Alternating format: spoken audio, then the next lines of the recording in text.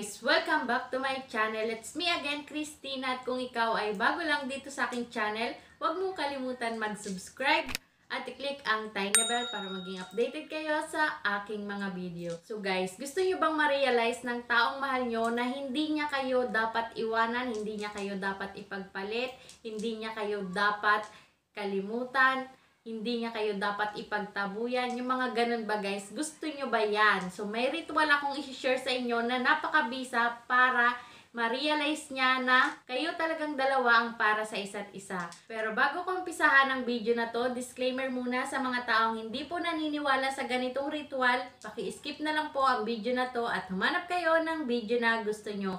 So ito lang guys ang kailangan natin dito sa ritual na to. So kailangan lang natin dito ay sibuyas. So ang sibuyas ay ganyan, may balat siya, So, dapat tanggalin nyo yung loob niya. Ayan. So, hindi siya dapat mabubutas. At kailangan din natin dito ng kulay red na kandila. Pwede rin ang kulay pink na kandila kasi tungkol sa pag-ibig yung ating gagawing ritual. So, kailangan din natin dito ng cloves. So, guys, ang cloves ay mabisang pang-akit, pang-gayuma. Ayan. Kaya kailangan natin dito ng cloves. So, ito guys, cloves, nabibili to sa online, Lazada o kaya Shopee. Kung wala kayong makikita nito sa mga grocery store, magtingin kayo nito sa online. So, kung hindi nyo alam kung ano ang itsura ng cloves, ilalagay ko dito. Ayan, ganyan ang itsura ng cloves. At maliliit lamang siya. So, ganito lang siya kalalaki. Ayan. So, ganyan lang kalalaki ang cloves.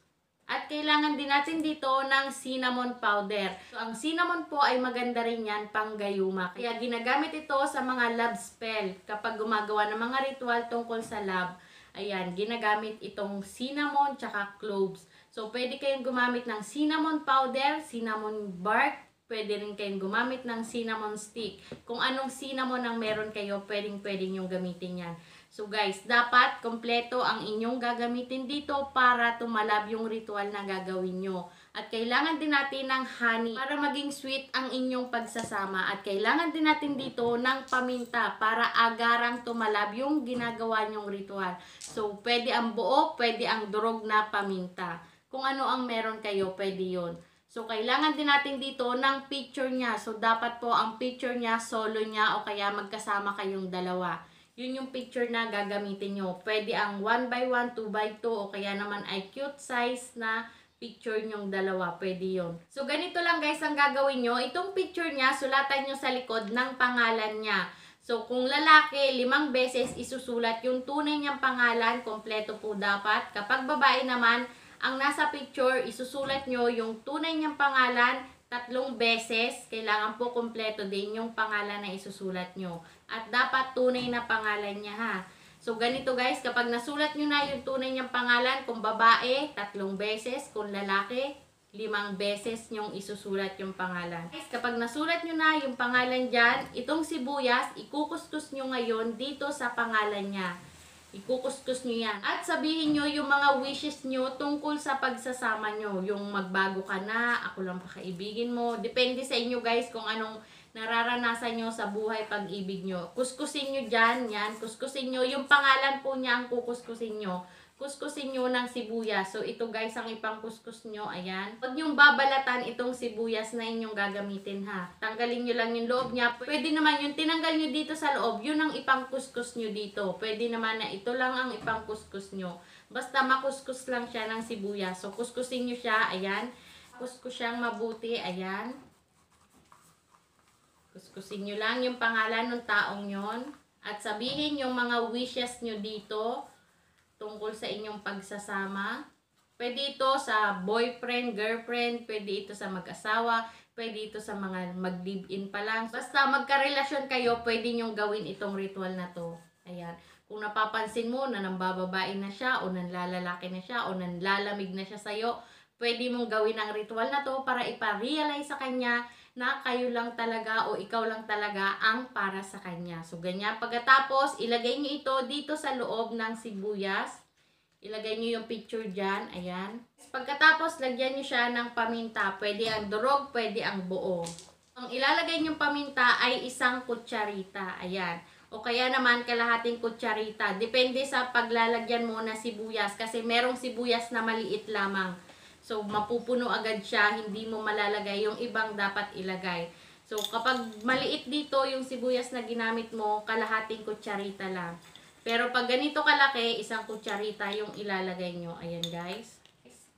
Ilagay nyo dyan. Sa cinnamon powder naman, isang kutsarita din ang ilalagay nyo o kalahating kutsarita. Depende rin sa paglalagyan. Dapat pare-parehas ang dami nito. Kung isang kutsarita nilagay mo, isang kutsarita siya lahat. Pero kung kalahating kutsarita, kalahating kutsarita sila lahat. So, ilagay nyo siya dyan.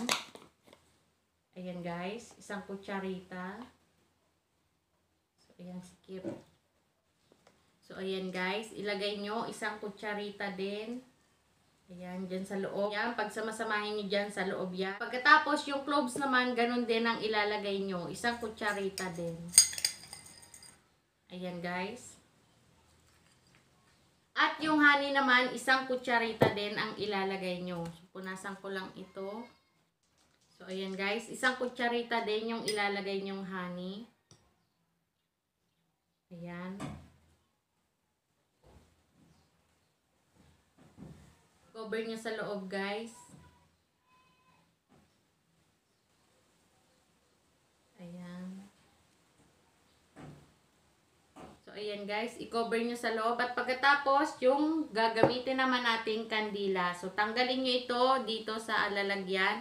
So, pwede kayong gumamit ng medyo malaki nito o tea candle na lang yung gamitin nyo. Depende sa inyo.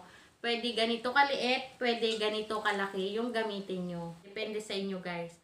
So, ganito ang gagawin nyo. Ilagay nyo siya dito sa loob niyan. Ayan, ilalagay nyo siya dyan. Ayan guys. At sisindihan nyo ngayon siya. Bago sindihan, magwi-wish muna tayo dito na bigyang katuparan lahat ng aking mga kahilingan na ito ay magkatotoo. Bigyan mo ng liwanag ang aming relasyon na magkasundo kami, hindi na kami mag-away-away, hindi na siya mambabae o hindi na siya manlalaki. I-wish nyo yan dito guys. At pagkatapos, sindihan nyo yung kandila na inyong gagamitin.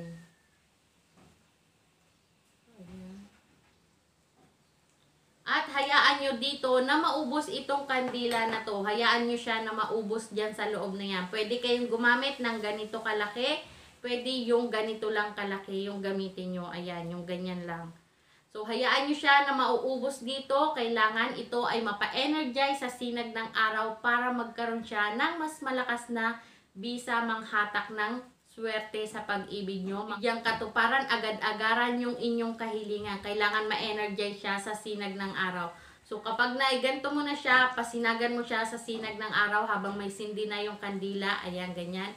Ilagay mo siya dun sa may araw, kung saan sumisikat yung araw sa silangan po.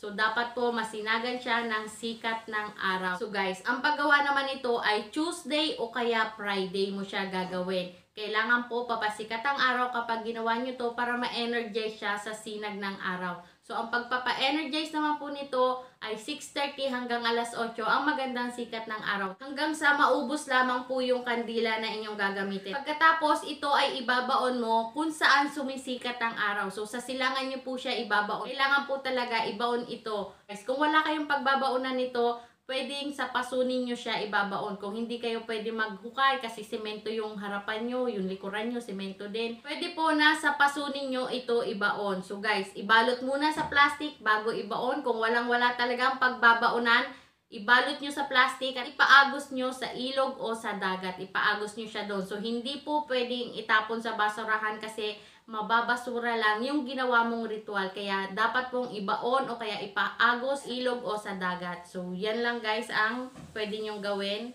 Pag natapos na, naubos na yung kandila, natunaw na yan lahat dyan, ibalot sa plastic bago ibaon o ipaagos sa ilog o sa dagat. Guys, lagi niyong tandaan na ang video na to ay gabay lamang ang tanging pagdadasal pa rin po natin sa Diyos at paniniwala natin sa Kanya ang makakatulong sa atin sa mga ganitong ginagawa nating ritual. So, lahat po ng bagay, samahan natin ng paniniwala para ito ay lubusang tumalab sa atin.